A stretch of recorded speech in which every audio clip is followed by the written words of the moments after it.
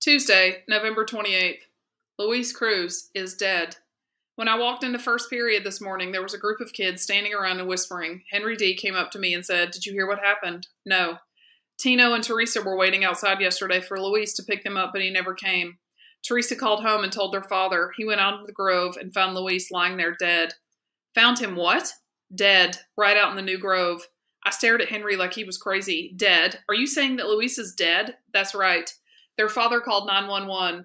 Wayne was one of the guys on call. He said Luis was dead when they got there, that he had been dead for hours. Dead? Dead of what? Wayne said it might have been an aneurysm, like a blood clot. He thinks Luis got hit on the head. It formed into a blood clot and that killed him. My mind was racing in circles. I finally said, What? Someone hit Luis on the head and killed him?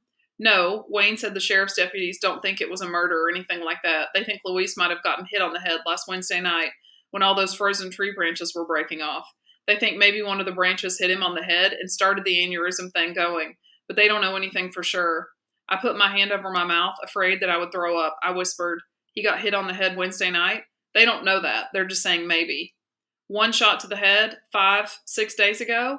How is that going to kill anybody? Henry could see how upset I was getting. He didn't reply. I mean, you see these guys in the kung fu movies getting hit on the head a thousand times and they keep on fighting, right? Right. I raised my hand and got Mrs. Pollard's attention. I said, I gotta go. I'm sick again. I hurried into the hall, pushing past a stream of kids all the way to the office. I asked to use the phone and left a quick message for mom. Come back right away. I'm sick again. An aide led me into the sterile black and white room that turned out to be the nurse's office. I slumped down into a black chair and waited there, dry eyed, speechless, numb. Mom returned at nine o'clock to sign me out. She told Dr. Johnson, I guess we sent him back to school too early. I rode home in a painful trance. Finally, when we pulled into our development, mom said, This cold of yours is really bad. It's really persistent. I nodded sol- slowly. Yeah, I thought. How could she believe that? How could she believe that I'm in the sixth day of a severe cold when I have not coughed or sneezed even one time? Has it even occurred to her that that isn't the truth? That I might be making it all up? Probably not. I decided to share part of the truth with her. I said, Luis Cruz is dead. She thought for a minute. Who, honey? Luis Cruz. He's Tino and Teresa's brother. He was at the Grove the day you drove me out there. I guess you didn't see him. He came to nearly all of our soccer games, but I guess you didn't see him there either. He used to pick tangerines on Merritt Island.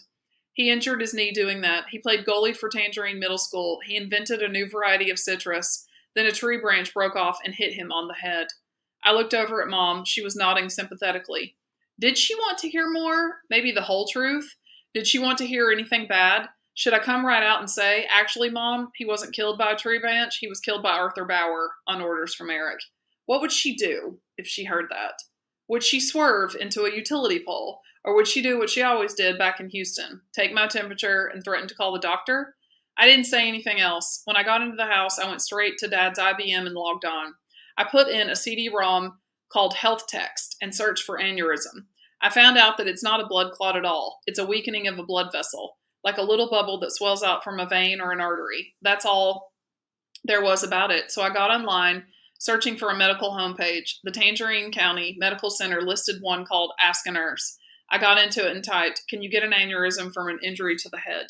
I received a reply right away. No, you are either born with an aneurysm or you were born with the tendency to get one. I typed in, Can an aneurysm kill you? Yes. An aneurysm can burst, causing a massive stroke and death. What could cause it to burst? The aneurysm gradually deteriorates due to the constant pressure of the blood passing, passing through it. Could an injury to the head cause it to burst? Yes. An injury to the head could further could further weaken the aneurysm and cause it to burst. Would this happen right away or could it happen a week later? It could happen right away or a week later after the injury or a month after, depending on the condition of the aneurysm. I typed in thank you and logged off. I had my answer. Luis had been killed by Arthur Bauer on Tuesday but it had taken six days for him to die. That shot from the blackjack had been just as deadly to Luis as a shot from a gun. I went upstairs and lay on my bed until 3:30. Then I called Henry D. Henry, what else did you hear about Luis? I haven't heard anything new from Wayne. I did hear from Dolly that Luis's funeral is going to be on Thursday at noon. Oh, all right, I'll be there. Do you think the whole team will go? I expect so. They all knew Luis. A lot of us owed Luis for things. A lot of us got rides from him in the truck in that truck of his yeah, look, if you hear anything else, anything at all, especially from Wayne, will you please give me a call? I sure will. At dinner time, mom knocked, knocked lightly on my door and brought in some vegetable soup and a basket of rolls. I pretended to be asleep. She put them down quietly and started to leave, but she turned and saw that my eyes were open. She said, How are you feeling, Paul? How is that cold of yours? I didn't answer. So she just smiled weakly and continued out. Wednesday, November 29th. I stayed out of school again today. I got dressed at about 10 and went out back to sit for a while. Mom came out with the telephone and handed it to me. Another girl, she said, a different one. I waited until she went back in to press the button. Hello? Paul Fisher? Yes, this is Teresa Cruz. Teresa, I'm really sorry to hear about what happened. She interrupted me. Her tone was all business. Yeah, I know that. Look, I have to tell you something. Don't you be coming to Luis's funeral. I stammered. Uh, okay. Henry says you're talking about coming, but Tino and Victor and those guys are saying some bad stuff. So you had better not show your face at Luis's funeral. I'm calling to tell you that. All right. I don't want any more bad stuff to happen, especially not at the funeral. No, of course not. So I'm just telling you. Then she hung up. I sat there with my mouth wide open. They knew. They knew everything. Teresa, Tino, Tomas, and his brother Victor, and the others, they all knew the truth. They knew that Luis came looking for Eric last Tuesday, and they knew what happened to him at the school. They knew that he didn't get hit by any frozen tree branch. How did they know? I jumped up and hurried through the gate to the front of the house. I turned left and headed down the sidewalk. I had to get away. I had to think. My mind was racing with questions. Did Luis tell someone about it? Of course he did. If he told me about it, he told other people too. Did I really think I could keep the secret from them all? Does everybody in Tangerine blame me now? Am I just as guilty as Eric? I was all the way down at the entrance pond before I stopped. I stood there and stared at the dark water until I finally understood, and it was so very simple. There's no big mystery here. The truth about Luis is obvious to all the people around him. Their lives are not made up of bits of pieces of versions of the truth. They don't live that way. They know what really happened, period. Why would that seem so mysterious to me? I sat on the bank and stared at the lifeless water. After a few minutes, I heard a noise behind me and turned.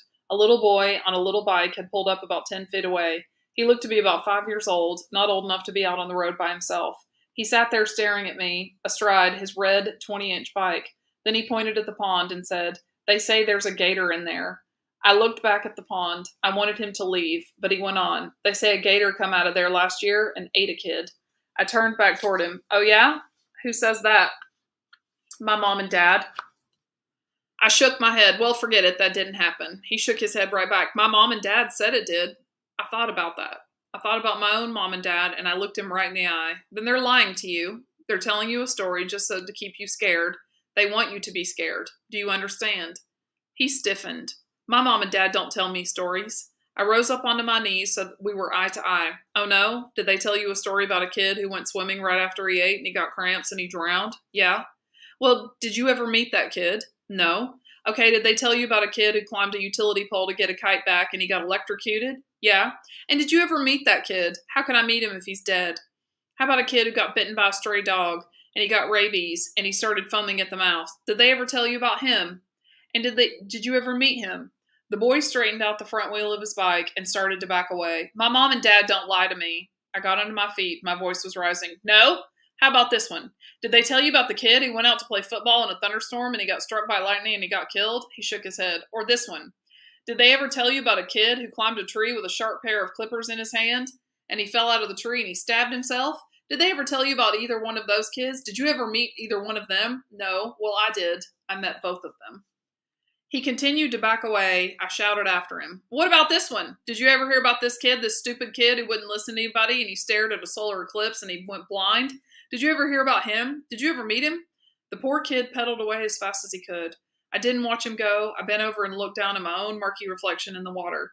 Like the final words of a ghost story, I muttered, Well, you have now. Thursday, November 30th. Mom left the house at 10 o'clock in the morning. She was gone for most of the day. I was here alone.